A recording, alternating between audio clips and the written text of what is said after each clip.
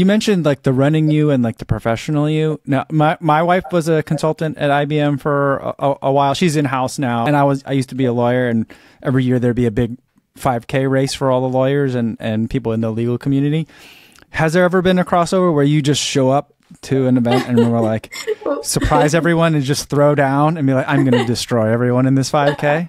no one wants to run with me. I'm not allowed to enter.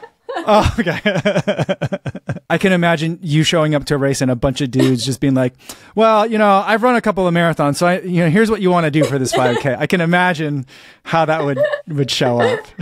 yeah, we have a corporate cup. I haven't done it for a while, but we used to have. Right. I think it was pre-pandemic, where all of the professional services kind of race against each other in the city okay. at Albert Park. But yeah, uh, we haven't had that for a while. Well, you embarrassed them so much last time that they were like, "We can't do that again." Lisa just made a fool out of all of us.